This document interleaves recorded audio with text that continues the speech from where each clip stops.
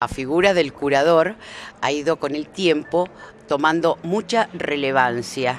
Tal es así que en Buenos Aires ya se dicta la carrera de curaduría. Curador, el término quiere decir cuidador, el guardián, el que resguarda el legado artístico. El curador es la persona que acompaña al artista plástico, no es el artista plástico, lo acompaña. ¿Cuál es la función?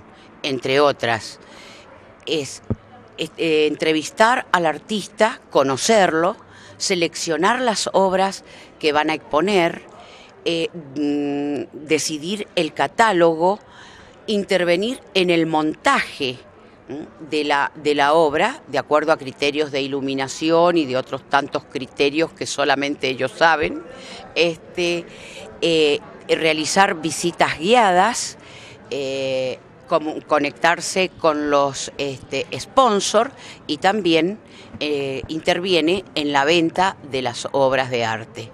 El seminario está dirigido al público en general y específicamente a los alumnos de Bellas Artes, de Artes Visuales y también es muy necesario los conocimientos de curaduría para los alumnos de la carrera Tecnicatura Superior en Gestión Sociocultural.